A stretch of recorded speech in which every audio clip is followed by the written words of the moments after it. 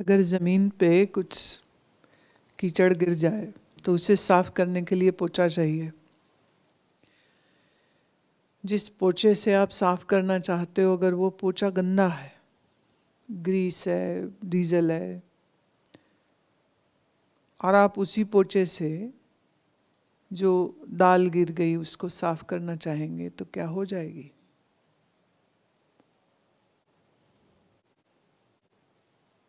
तो सजग का एक पॉइंट है कि ज्ञान तो सुन लिया, अब तो मना नहीं करना और माधव का दूसरा पॉइंट है कि चूँकि अभी सत्वगुणी नहीं है, इसलिए हमें कोई बार बार याद कराने वाला चाहिए।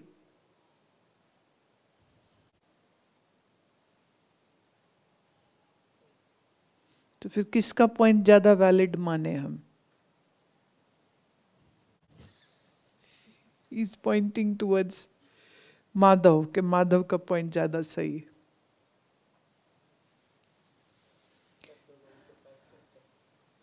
हाँ सत्वगुणी होना पहला स्टेप है। इसलिए पुराने समय में महात्मा लोग कहते थे कि जब तक आपका चित्त शुद्ध नहीं हुआ, तब तक वो बंदे को शिष्य स्वीकार नहीं करते थे। अब जब शिष्य ही स्वीकार नहीं किया तो ज्ञान क्यों सुनाएँगे? अब इस बात की कठिनाई को समझो तुम। गुरु के पास हज़ार तरीके होते थे ये जानने के लिए कि चेला तैयार है या नहीं है। जैसे, अब ये बड़ा डिफ़िकल्ट होगा बात को हजम करना, जो हम कहने जा रहे हैं।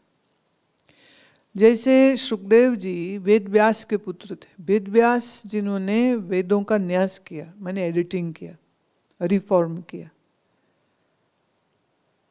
उन वेद व्यास जी का पुत्र है सुखदेव। जिसके लिए कहते हैं कि जन्म लेते ही वो सीधे शर्त यह रखी थी कि मैं जन्म तब लूँगा जब मेरा कमंडल सामने रखा जाए और मुझे कोई रोके नहीं और मैं तो बस सीधे वन को जाऊँगा। नहीं तो मैं पैदा नहीं होऊँगा। तो व्यास जी की पत्नी को यह आश्वासन देना पड़ा और वेद व्यास जी को भी देना पड़ा। ये उस पुत्र को आश्वासन दे रहे जो भी पैदा नहीं हुआ है। और वो शर्तें रख रहा है। तो जैसे ही उनका जन्म हुआ तो कहते हैं कि वो कमंडल लिए और जंगल को चले गए।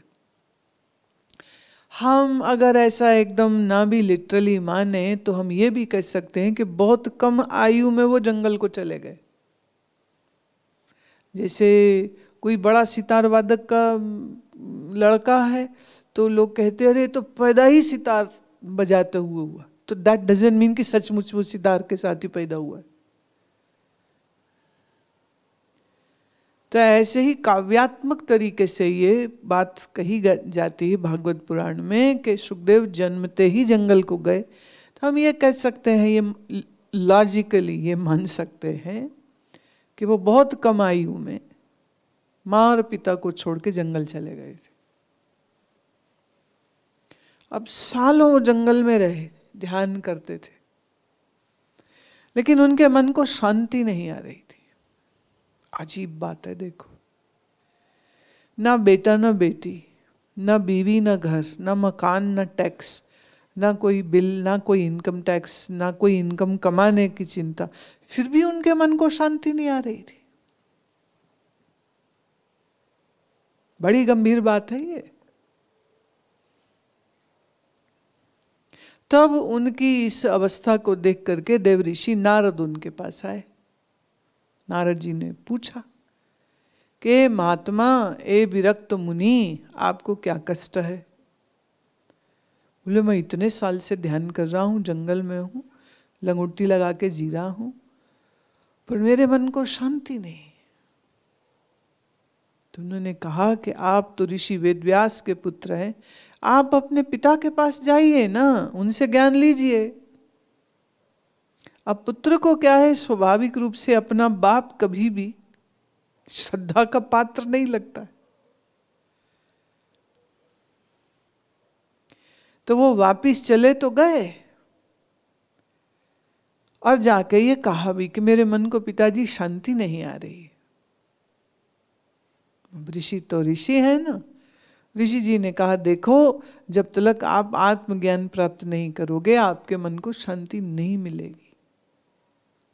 वो कैसे होगा? तो बोले, इस समय में सबसे बड़ा ज्ञानी एक ही है, विदेह मुक्त राजा जनक, उनके पास जाओ। तो सुखदेव जी ने प्रणाम किया पिताजी को और चले गए। आप रास्ते जाते सोचते, मैं जन्म जात त्यागी। और वो राजा, और वो मुझे ज्ञान देगा। पिता की बात पर चले जाने के बाद में भी उनके मन में ये संशय बना रहा। पर चूँकि पिता ने भेजा है, और वो एक बहुत अच्छे पुत्र हैं, सो वो महल तक पहुँचे और महल में जाकर के द्वारपाल से कहा कि मैं आपके राजा को मिलना चाहता हूँ। मेरा नाम सुखदेव है, मैं ऋषि वेदव्यास का पुत्र हूँ। द्वारपाल ने कहा, यहीं खड़े रहिए। महात्मा, मैं भीतर सूचित करता हूँ। वो भीतर गए, सूचित किया।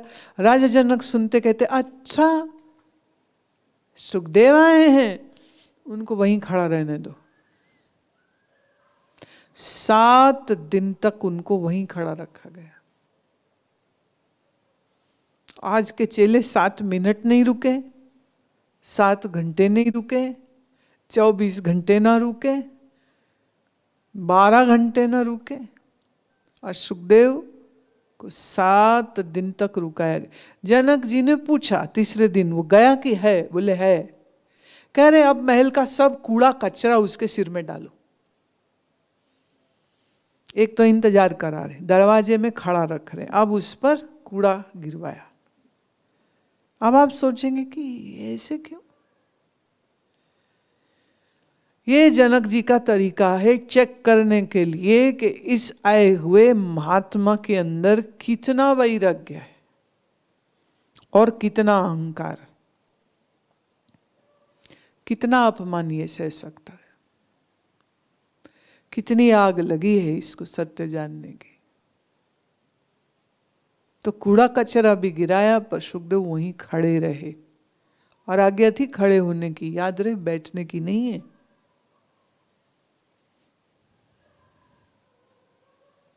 गुरु के ग्रह सेवक जो रहे, गुरु की आज्ञा मन में सहे।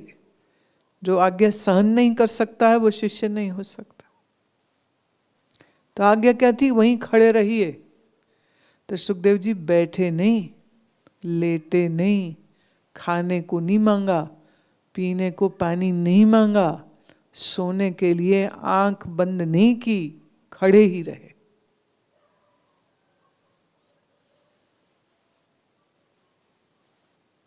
आप सोच के देखिए, आज के कलयुग में कोई गुरु किसी चेले के साथ ऐसा व्यवहार करे तो वो चेला टिकेगा क्या? किस चेले में इतनी आग है? किसमें इतना वैराग्य है? ही नहीं। क्या मेरे बच्चे घर में अकेले या मेरा बाप का, या मेरी माँ की इस रसोई का सामान, वो पैसे लाने हैं, वो ये करना है, वो दस काम, वो हज़ार काम। पर सुखदेव जी खड़े रहे। आठवें दिन उन्हें भीतर बुलाया गया। जनक ने कहा, आइए आइए आइए महात्मा, कैसे आए? कहते हैं कि मेरे पिताजी ने आपके पास भेजा है कि आप मुझे आत्मज्ञान कराएँ। जनक कहते, वो तो हो ही जाएगा, आत्मज्ञान तो बाद की बात है। अभी आप भूखे प्यासे होंगे। तो आप जरा महल का विश्राम लीजिए, भोजन खाइए फिर हम इस विषय में भी बात करेंगे। तो दास दासियों को कहा कि इनको आप भीतर महल में ले जाओ और इनको भोजन छकाओ और रात ये विश्राम करें, कल सुबह मेरे सामने लाना। बड़े अच्छे अच्छे भोजन, रेशमी गद्दे, खाने को भोजन, पंखा करने वाली दासियाँ, सब कुछ उपलब्ध है। पर सुखदेव जी का मन न भटका। इतने आलीशान महल में जाकर के, भोग की सामग्रियाँ देख करके भी उनका चित्त शांत रहा। ने कहा कि, मेरे को पत्तल में भोजन दे दीजिए, मैं ये चांदी सोने के थाल में नहीं खाऊँगा। पत्तल पे दाल भात, दाल चावल खाया। दासी ने कहा कि, आपके विश्राम के लिए देखिए महात्मा पलंग तैयार है। पलंग पर रेशमी चादरें हैं रेशमी तकिए हैं। सुखदेव जी लेट गए, जैसे ही लेटे क्या देखते हैं? उनके ठीक सिर के ऊपर एक बड़ी भारी नंगी तलवार एक पतले से सूत के धागे से बंधी हुई पड़ी, लटकी हुई है। सोचो अब, सात दिन खाया नहीं, पिया नहीं, सोए नहीं। अब खिला दिया गया है उनको और सोने के लिए बिस्तर दे दी पर सिर के ऊपर क्या है? नंगी तलवार लटक रही। सूत का धागा कभी भी टूट जाए। अब सुखदेव क्या सोच सकते हैं? बट संकोच के कारण न तो उस जगह से हिले और वहीं के वहीं रहे और बस रात भर आँख लगी कहा उनकी। सुबह हुई तो दासी ने कहा कि अब आप स्नान कर लीजिए और आपको बस अब महाराजा के पास लेके जाना। महाराजा जी के पास लेके गए तो वहाँ महाराजा जी के सामने नर्तकियाँ नाच रही थीं। सब मंत्री थे, राग सभा चल रही थी, गाना चल रहा है, नर्तकी डांस कर रही है। सुखदेव को उस महल में खड़ा कर दिया कि अच्छा आप यहाँ रुकिए, अभी आपको बुला लेंगे। फिर फिर याद करो वो हैं लंगोटी लगाए हुए एक त्यागी। और जिनको वो गुरु बनाने आए हैं वो कौन है? महाराजा। राजसी ठाट बाट, राज सिंहासन पर नर्तकी नाच रही है, मंत्री सब बैठे देख रहे हैं, राग सभा चल रही है। सोचिए, सुखदेव जी के मन पे क्या आई होगी?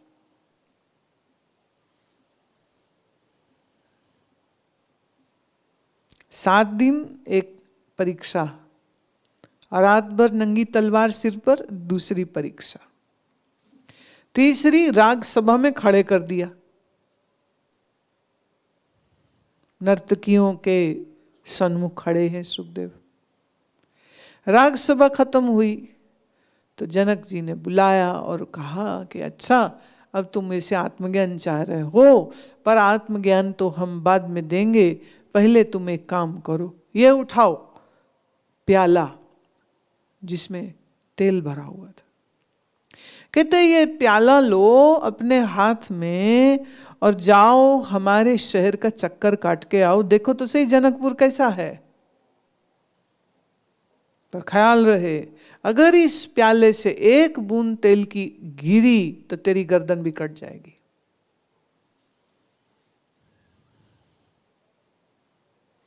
Now oils viscosity is more और लेस देन वाटर हाँ इट्स मोर पानी की एक बूंद छलक जाए डजन मैटर्स विस्कासिटी कम है, एक बूंद गिर सकती है, बाकी पानी वहीं रहेगा प्याले में। लेकिन अगर तेल की एक बूंद गिरी तो एक ही गिरेगी क्या? लाइन लग जाएगी, धारा बन जाएगी। सुखदेव का हाथ में प्याला दे दिया। दो पहरेदार तलवार लेके सुखदेव के बाएँ और दाएँ खड़े ऑर्डर क्या है? जनकपुर का चक्कर लगा के आओ।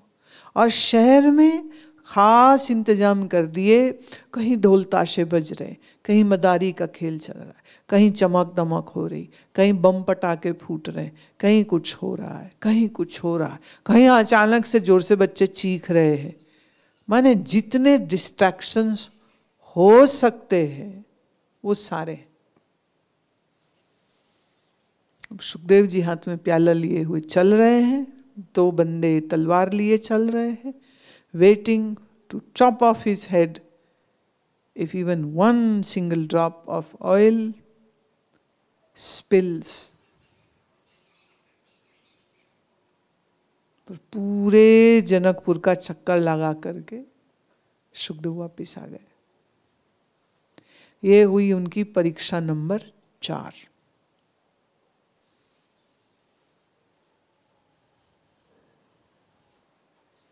फिर जनक ने कहा, चलो अब हमारे साथ। तो महल के बाहर पीछे बगीचे में चले गए, वहाँ जाके बैठ गए। सुखदेव जी बहुत अच्छे से सष्टांग प्रणाम किया। गुरुदेव को। जनक जी जो ग्रस्त हैं, जो राजा है, वो ऊँचे आसन पर सुखदेव जो त्यागी हैं लंगुटीदारी हैं, वो नीचे ज़मीन पे बैठे। अजब लीला हुई ना ये। फिर उन्होंने कहा, तुम्हें आत्मज्ञान क्यों चाहिए? तो सुखदेव से वार्तालाप हो रहा था।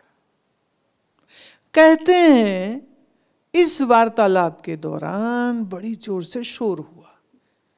आवाज़ें आ रही अरे आग लग गई, आग लग गई, महल में आग लग गई। तो सुखदेव जी उठ खड़े हुए। लगे जाने। जनक कहते, कहाँ चले? कहते, गुरुवर, मेरा कमंडल, मेरी लंगोटी तो आपके महल में पड़ी और आग लग गई तो मैं जाके समेट लूँ उसको। जनक ने कहा, अरे, हमारा सारा महल जल रहा है और हम यहाँ शांत बैठे हैं, तेरा एक कमंडल अंदर पड़ा है और तू कमंडल के लिए हमें छोड़ करके भीतर जाना चाहता है। चार कठिन परीक्षाओं के बाद पांचवी परीक्षा में सुखदेव जी फेल हो गए। सात दिन रोका एक। तलवार बंधी हुई के नीचे सो जाओ दूसरी। राग रंग की सभा में खड़ा कर दिया तीसरी। और जब वो बाहर महल में खड़ा करवाया था, दरवाजे पर तो जब वो कूड़ा करकट ऊपर पड़ा, वो भी याद रखे तो चार ये। और पांचवी जब महल में आग लगने की खबर फैली तो अब सुखदेव जी बड़े चक्कर में पड़े। आहा। किसी की मोह, ममता नहीं, लेकिन कमंडल की चिंता तो आ ही गई। अर्थात जिसके मन में एक भी चीज़ का ममत्व है, वो ज्ञान का अधिकारी नहीं होता है। जिसमें धीरज नहीं है, वो ज्ञान का अधिकारी नहीं होता। सिर पे कूड़े डाले गए और वो सह गए, जो न सह सके अपमान को, वो ज्ञान का अधिकारी नहीं होता। है और जो गुरु के आचरण का एनालिसिस करके गुरु का ही जजमेंट करने लग जाए, वो चेला तो बिल्कुल ज्ञान का अधिकारी नहीं होता है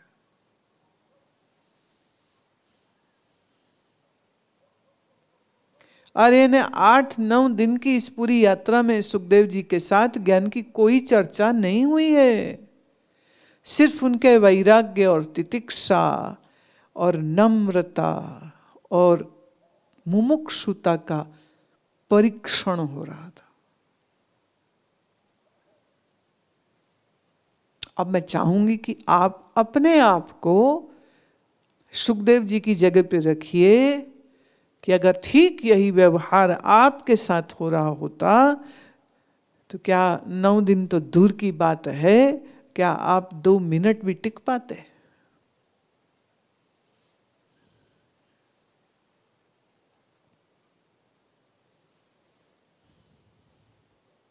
अब चूँकि इतनी कठोर परीक्षाओं के बाद सुखदेव जी को ज्ञान श्रवण करने को मिला तो कोई हैरत नहीं है कि मात्र कुछ दिन में सुखदेव जी को आत्मज्ञान हो गया था।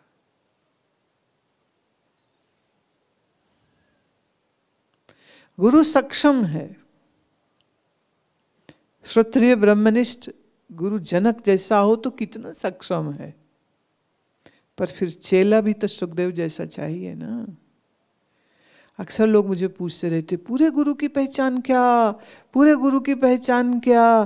कभी नहीं कोई पूछता है कि पूरे चेले की पहचान क्या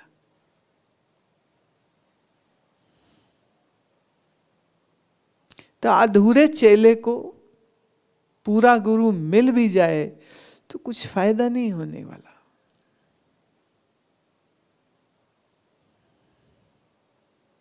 और गुरु भी अधूरा हो और चेला भी अधूरा हो तो फिर तो बिल्कुल ही कुछ नहीं होने वाला सो प्रश्न ये उठता है कि क्या सुनने वाला श्रोता पूरा श्रोता है? क्या वो सच्चा अधिकारी है?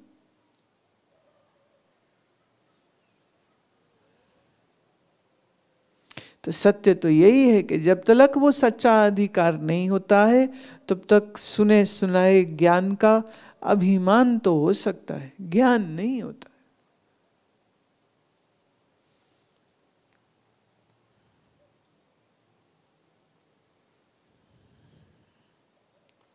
शरीर से ममत्व बना रहता है, राग द्वेष बने रहते हैं, मन में भय, क्रोध, इच्छा, वासनाएँ बनी रहती हैं और फिर पूछता गुरु जी अनुभव तो हो नहीं रहा। गुरु जी क्या करें?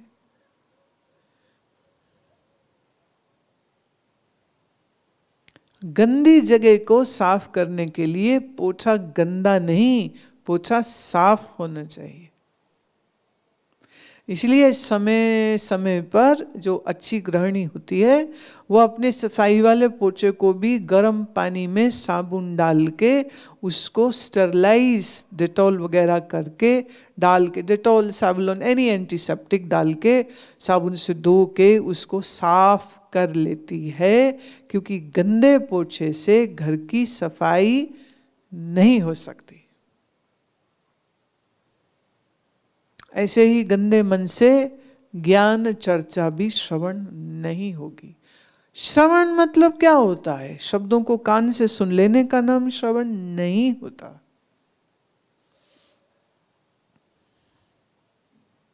जो बात सुनी, वो बात आपके निश्चय में आ जाए तो हम कह सकते हैं, अब बात सुन ली।